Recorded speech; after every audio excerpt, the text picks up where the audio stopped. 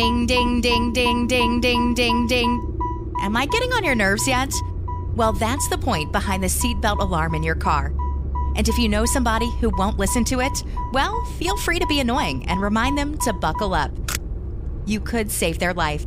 To find out more, go to buckleupva.com. Buckle up. Every trip, every time. A message from the Virginia Department of Motor Vehicles.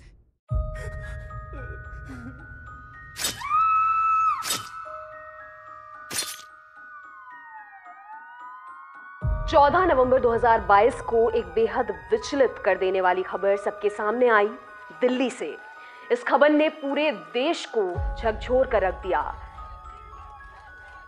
Chhatarpur में हुए श्रद्धा murder case ने राजधानी में सनसनी मचाकर रख दी है दिल दहला देने वाली इस घटना ने मानवता को शर्मसार कर दिया है Hello and welcome to All Indians Matter. I am Ashraf, Engineer.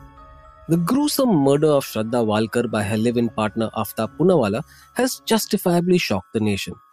Aftab chopped Shraddha's body into 35 pieces and disposed of them across Delhi, storing her remains in a refrigerator at one point.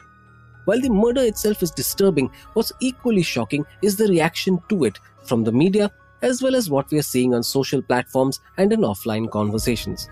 The reactions have ranged from victim blaming to Islamophobia and insensitive memes about the murder to completely over the top news coverage.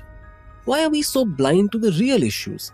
The violence against women that is so endemic in our society, what domestic abuse victims go through at the physical and emotional levels, and our shameful patriarchy and misogyny that is so evident in our response to such cases.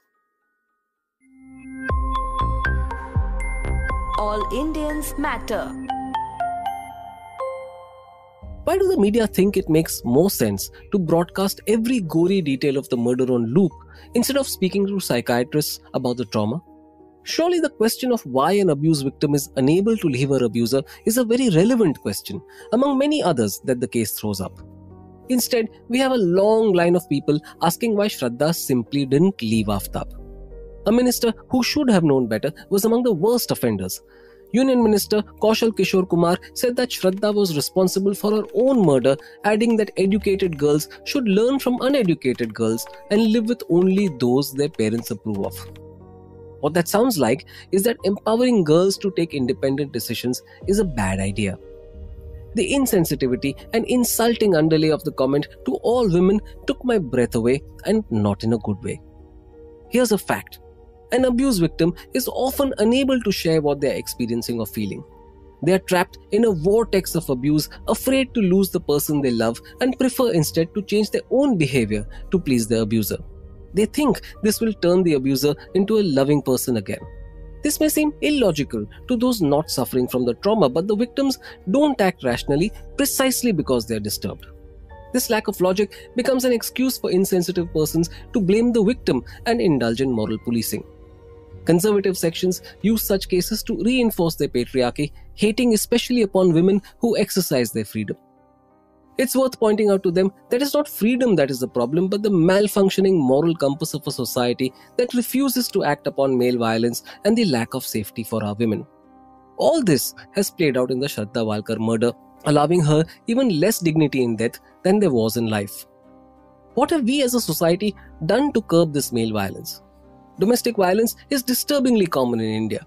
A study that analyzed National Crimes Record Bureau data showed that domestic violence cases rose 53% between 2001 and 2018.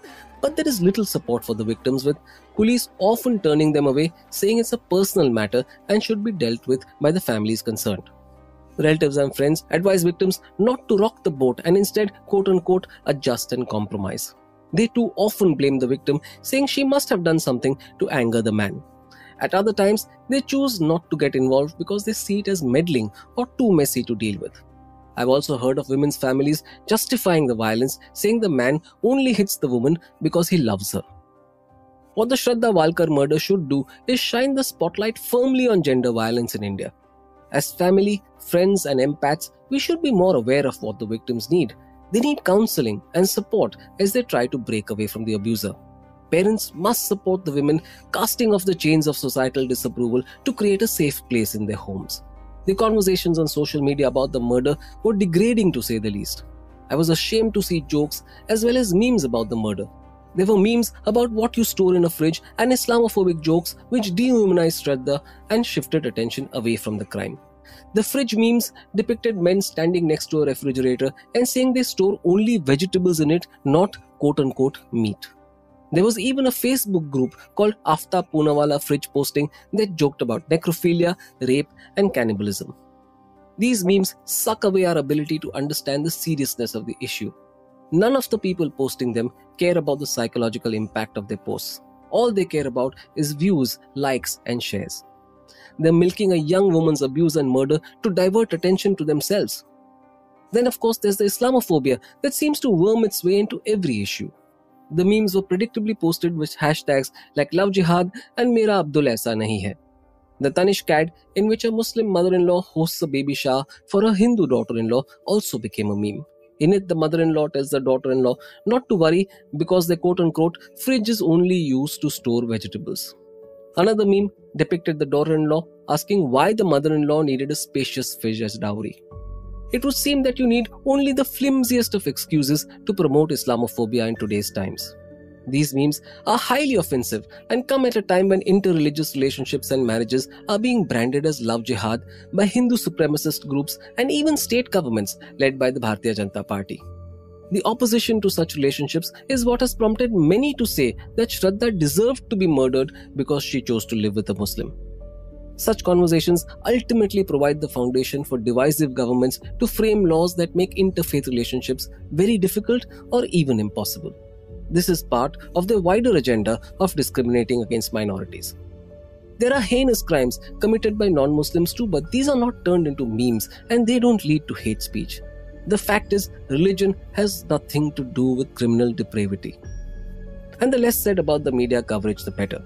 News channels depicted skulls, so called journalists trekked through forests looking for body parts, tickers flashed insane messages like Fridge mein ladki, bagal mein lash, mohabbat to murder, Tukre Tukre Love Story, and Ashik Nahi Jallad, Mission Love Jihad.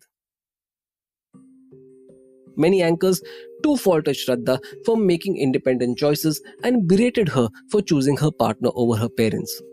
Others referred to Aftab's call logs to show that he was in touch with other Hindu girls and imply that he was luring them to fulfill his love jihad mission.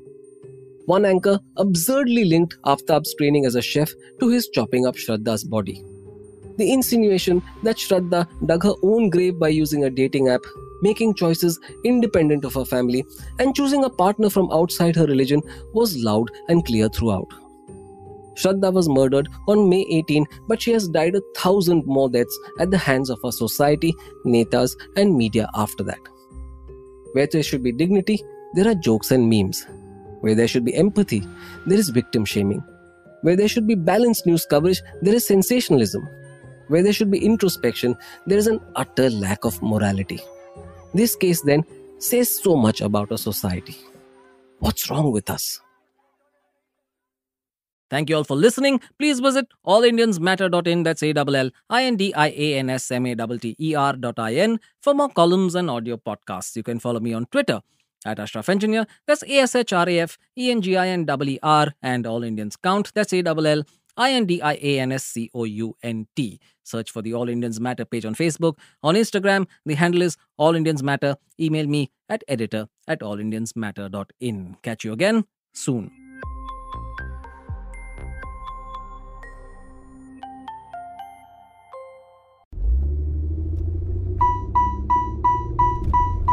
Ding, ding, ding, ding, ding, ding, ding, ding. Am I getting on your nerves yet? Well, that's the point behind the seatbelt alarm in your car. And if you know somebody who won't listen to it, well, feel free to be annoying and remind them to buckle up. You could save their life. To find out more, go to buckleupva.com. Buckle up. Every trip, every time. A message from the Virginia Department of Motor Vehicles.